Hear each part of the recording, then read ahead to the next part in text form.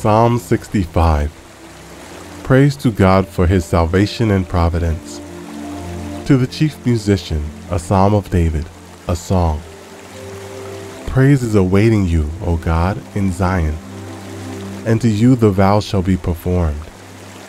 O you who hear prayer, to you all flesh will come.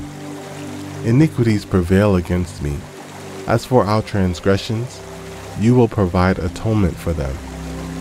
Blessed is the man you choose and cause to approach you, that he may dwell in your courts.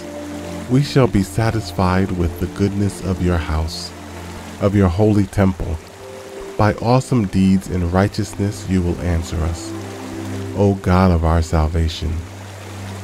You who are the confidence of all the ends of the earth, and of the far off seas, who established the mountains by his strength, being clothed with power you who still the noise of the seas, the noise of their waves, and the tumult of the peoples. They also who dwell in the farthest parts are afraid of your signs. You make the outgoings of the morning and evening rejoice. You visit the earth and water it.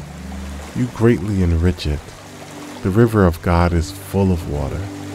You provide their grain, for so you have prepared it. You water its ridges abundantly.